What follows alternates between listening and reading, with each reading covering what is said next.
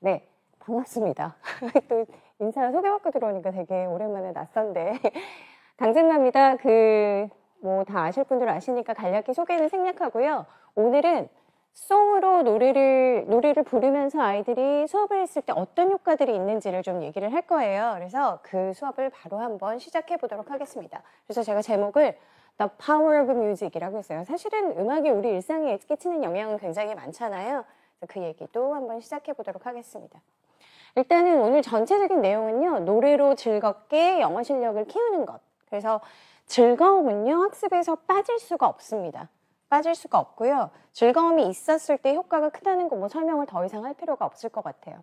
노래로 하면 뭐 무엇이 좋은가? 발음, 억양, 유창성도 좋아지고, 그 다음에 듣기 말하기 실력뿐만 아니라 저희가 읽기 능력, 그래머 능력 이런 것도 같이 좋아질 수 있다는 거. 사실 읽기는 그냥 소리를 해서 읽는 거고 거기다 리듬을 추가하면 챈트고 거기에 멜로디를 추가하면 노래일 뿐이잖아요. 그러니까 사실은 리딩을 즐겁게 노래로 한다고 생각해도 뭐 과한 확장은 아닐 것 같습니다. 그 다음에 아이들이 동작과 율동을 하면 뭐가 좋으냐면 요새 혹시 아이들 전체적인 역량이 변했어요. 미래 인재 사회 역량. 지식, 어느 어느 certificate 이런 게 더 이상 중요하지 않고 아이들한테 중요한 것 중에서 굉장히 강조된 게 태도. 그 태도에는 긍정적인 태도, 즐거운 태도, 어떻게 사고하는지 이런 거 포함이 되어 있고요. 또 하나 지식적인 역량은 그 중에 아주 단편적인 9분의 1 정도를 차지합니다. 또 하나가 뭐냐면 아이들의 정서적인 능력, 그리고 공감 능력, 그리고 사회 인지적인 능력이에요. 다른 사람들과 어떻게 지내느냐. 그리고 또 하나는 신체적인 능력도 굉장히 강조가 돼요. 그래서 저희가 수업을 할 때 어떤 아이들이 신체를 움직이는 게 건강한 거를 넘어서서 어떤 게 좋으냐면 뇌를 액티베이트 시킵니다. 그래서 수업을 굉장히 하면서도 아이들이 가만히 앉아서 듣는 것과 같이 소리내어 읽는 게 다른데 거기에다가 동작까지 추가한다면 굉장히 아이들이 많이 배우고 익힐 수 있는 상황이 되겠죠.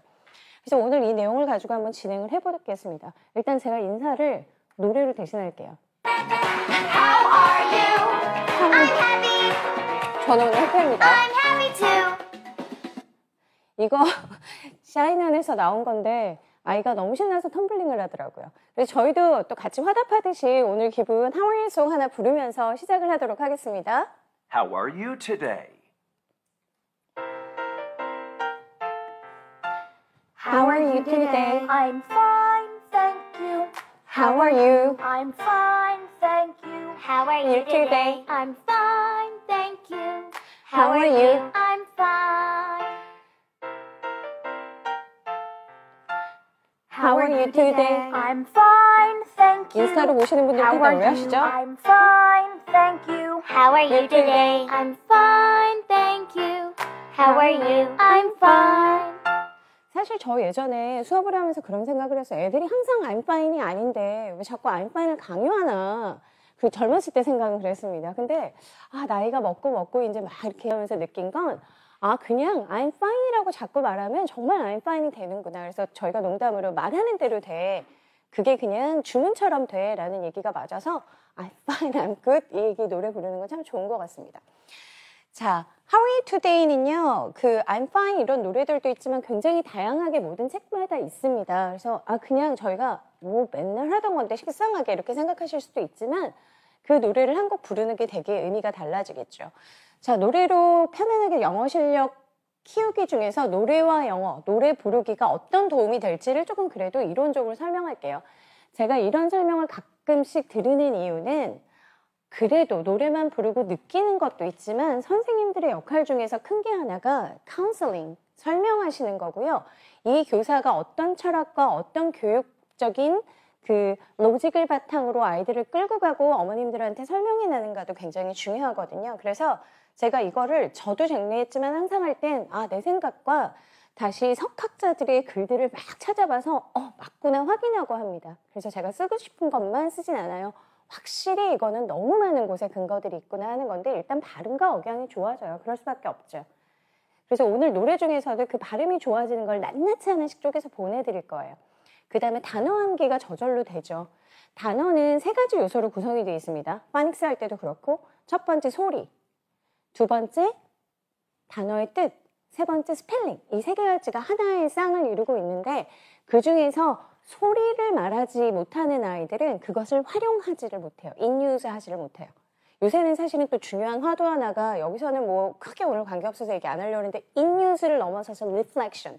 그러니까 배운 것들을 단순히 사용이 아니라 반영해서 내가 이쪽으로 변형하면 그쪽에서 변형해서 사용해서 extend해서 쓸 수 있느냐 stretching extend 할 수 있느냐 이 부분이 굉장히 중요한 화두가 되고 있습니다만 어쨌든 아이들이 소리가 스펠링보다 더 중요하게 활용 쪽으로는 연결이 돼 있는 제가 경험을 많이 했습니다. 그 다음에 단어 확장도 좋아지죠. 당연히 내가 자신 있게 발음하면 말을 더 하겠죠. 발음을 못하면 알긴 하는데 창피할까봐 말을 안 해요. 소리는 굉장히 중요한 역할을 합니다. 당연히 즐거운 학습을 하고요. 운동 능력이 향상된다고 제가 썼어요. 왜냐하면 율동하고 그러면 아무래도 아이들이 조금 더 움직이는 게 그렇게 되죠. 몸을 움직이면 뭐가 좋냐면요. 뇌 브레이커 영역이 활성화된다고 해요. 그래서 브레이커 영역이 활성되니까 어떻게 되냐면 short-term memory가 long-term memory로 갈 확률이 40% 이상 증가합니다. 그래서 그런 종- 장점이 있고요. 그다음에 당연히 센텐스를 제가 문법을 가장 잘하는 방법 1번 문법을 쉽게 이해한다. 그래서 제가 그냥 문법을 두 가지 스토리로 그냥 간단하게 아이들한테 풀어주는 게 있는데 그걸 넘어서서 더 빨리 내 것으로 만드는 능력은 큰 소리로 계속 읽기라고 말을 해요. 뭔지 모르겠지만 이거 문법 맞는 것 같아 라고 느끼는 게 가장 크거든요. 그래서 노래를 하고 큰 소리로 읽는 거를 이길 수는 없습니다. 또 하나는 아이들이 자신감이 생기죠. 영어를 선생님들은 다 아실 거예요. 영어를 잘하려면 어떻게 해요? 틀려도 용감하게 자신 있게 계속 말하면 는다고 해요. 그렇죠? 그러려면 노래 가사는 아이들이 어떤 게 있냐면 리딩을 했을 때 틀리면 아 중간에 이게 맞나? 이런 생각이 들지만 노래를 하다 틀리면 약간 좀 머머링 해도 그닥 죄책감도 안 느껴지고 아이들이 즐겁단 말이죠. 그래서 이게 훨씬 적, 적극적이고 아이들이 긍정적인 태도로 가기가 좋습니다. 그 다음에 노래를 할 때 혼자서 뭐 흥얼거리고 노래방처럼 코인 노래방 들어가서도 할 수 있지만 수업이든 아니면 자기가 녹음을 하든 어디에 참여를 하면서 사회성의 발달도 생깁니다. 아까도 말씀드렸지만요. 단순히 영어를 알고 지식적으로 단어를 아는 건 더 이상 역량에 속하지 않아요. 그거는 팝하고나 구글이나 더 잘하고 챗GPT가 문법도 집어넣으면 약간 틀린 건 다 교정해서 그냥 주면 거 베껴 쓰기도 하잖아요. 그래서 아이들이 할 수 있는 건 그렇다면 그 문장이 가지고 있는 문맥을 이해하고 내가 그걸 활용할 수 있느냐지 문맥 자체를 정확하게 정답으로 말할 수 있는 능력은 지금 현재 미래 사회에서는 그닥 중요하진 않아졌습니다. 그러므로 단어 시험보다 아이가 이 단어를 사용하는 태도, 적극, 적, 접근하는 태도, attitude라는 게 훨씬 더 중요하게 됩니다. 팝송도 있고 여러 가지가 있고 저희 어렸을 때는 팝송을 통해서 많이 배우기도 했었어요. 근데 아이들한테 교육적으로 다가가면서 학습적으로 연결이 되면서 도움이 되는 건 너무 길지 않은 거. 예, 너무 길면 부담스럽거든요. 그 다음에 많은 영어 단어와 문장을 보여주되 대신 투머치는 아닌 거. 너무 길지는 않고 제가 썼어요. 그 다음에 너무 빠르지도 않고 너무 빠르면 그것도 사실 학습적으로 정확한 발음과 억양을 전달받기는 어렵거든요. 그 다음에 쉽게 듣고 노래할 수 있는 거. 단어도 너무 어렵진 않지만 매일 불러도 괜히 흥이 나는 것. 이런 게 좋아요. 그 다음에 학습할 수 있는 방법으로는 정확한 발음으로 불려진 게 훨씬 좋습니다. 물론 레벨이 올라가면요. 정확하지 않은 것도 도움은 돼요. 근데 저희도 이제 레- 영어 레벨 올라가서 어, 하지만 팝송 부를 때 어떤 구간은 도저히 모르겠는 거 있어요. 그럼 가사 보고 아 왜냐면 창의적인 음악은 아주 그 팝이나 이런 것들은 리듬을 꺾으면서 막 올라가고 이러다 보니 원곡에서 영어적으로 배울 수 있는 거에 한계점을 넘어서야 하거든요. 저희 솔직히 한국어 랩도 들으면 다 아세요? 어려워요. 그거 저 무슨 쟁반 노래방은 저희 때 시절이고 요새 뭐 TV에서 하는 거 있잖아. 그거 하려면 어떤 건 저희도 듣고 찾아보고 가사 찾아봐야 아 저거구나 알 수 있거든요. 그래서 바스 하는 것도 그런 데서 나오는 것 같습니다. 그럼 노래는 어떻게 가르치면 제일 가르, 가르치기 좋은가 하는 거고 일단 들어보게 listening 하는 거예요. reading한 거 똑같이 생각하세요. Listening 하고요. 가사를 큰 소리로 한번 읽어보면서 몇 가지 단어만 구간 구간 이해를 합니다. 그리고 그 구간에서 발음과 액센트가 특히 신경 쓰이는 것들은 아이들이 발음을 해보게 하고요. 다시 노래를 들으면서 먼저 부르, 만약에 가사가 길때 얘기해요. 짧을 거 아까 you today는 그냥 부르시면 돼요. 근데 조금 길이가 있으면 자, 이제는 가사를 읽어보는 거야. 천천히. 들으면서 흥얼흥얼 그 다음에 가사를 보면서 노래를 부르고요. 어려운 구간만 두세 번 반복해보고, 그 다음에 거기다 율동을 좀 더 하고, 율동과 함께 불러보고, 그리고 마지막에 된다면 좀 좋아하는 부분을 영어 reading하고 똑같이 독후감처럼 가사를 적어보고 이렇게 해도 굉장히 도움이 됩니다. 저희가 노래는 부르면 끝난다고 생각하지만 노래의 스크립트를 reading passage이지만 활용도가 높은 speaking으로 생각한다면 충분히 가능하시죠. 그래서 그렇게 활용하시면 돼요. 그래서 사실 노래만 다 다운받아가지고 그걸로 수업해도 특강에 뭐 우리가 reading 수업이긴 한데 speaking 책 하나에 있는 song들 쫙 부르고 넘어간다 그러면 충분히 아이들이 해낼 수 있습니다. 그래도 저희가 발음 억양 이거를 이제 고려를 해봐야 돼요. 한 20대 교사 시절에 EBS에서 이런 방송이 있었습니다. 어, 다큐멘터리였는데 제가 지금 그 데이터를 찾으려고 했더니 정말 오래돼서 2000년이니까 그게 지금 자료가 없더라고요. 근데 어떤 내용이었냐면 그 당시에 제가 학원에서 가르칠 때 2000, 1990, 90년대 후반부터 영어 학원이 급속도로 생겨요. 청담, 압구정, 강남을 중심으로. 그러면서 학원 수가 어마어마하게 전국으로 늘어나고요. 2000년도에는 피크를 찍습니다. 그러다 보니 엄마들이 전부 다 영어 학원을 보내기 열풍이 생겨요. 그러면서 방송 뉴스에 나왔던 내용이 뭐냐면 아이들 발음을 좋게 위해, 하기 위해서 이 텅, 혀 아래에 있는 그 근육을 절개하는 수술을 한다 뭐 이런 말까지 나왔어요. R 사운드를 잘하게 하려고.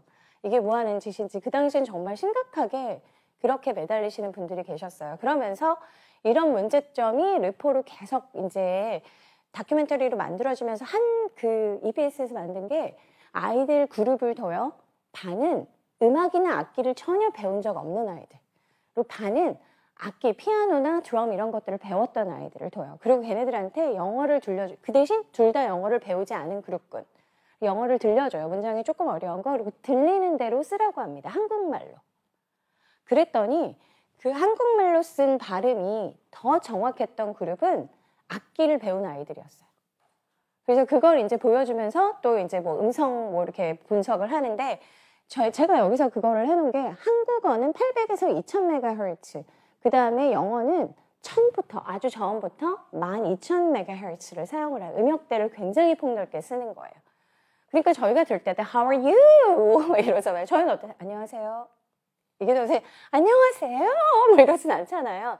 그래서 아이들이 영어를 잘한다라는 건 발음의 문제도 있지만 인토네이션하고 액센 포지션이 굉장히 중요한 거예요. 그래서 제가 파닉스 할 때도 얘기하지만 오렌지냐, 오렌지냐, 오렌지냐가 중요한 게 오냐, 어가 중요한 것보단 오렌지만 아니면 돼요. orange, orange. 그러니까 accent position과 더해진 intonation의 리듬이 사실은 영어를 살리는 전체적인 거거든요. 그러다 보니 한국어 책을 배울 때 노래로 배우는 경우가 아주 많진 않아요. 근데 영어는 모든 coursebook이든 막 여러 군데에서 노래를 많이 하죠. 이런 부분들이 관련이 되어 있습니다. 그래서 영어는 모국어인 한국어보다 음역대가 훨씬 높고 넓고요. 그 다음에 영어는 리듬 언어라는 쪽에 속합니다. 그래서 박자도 이렇게 가죠. It's a beautiful day today. 그쵸? today 하고 올라가서 딴딴 딴딴 거 박자를 타듯이 가는 거예요. 그래서 that's the best. 왜 아이들이 더 유창성을 가지려면 발음 자체가 R 사운드를 잘하는지 TH 사운드를 잘하는지 너무 거기에 얽매이지 말고 리듬으로 가르치면 자연스러운 영어에 접근할 수 있다는 생각입니다.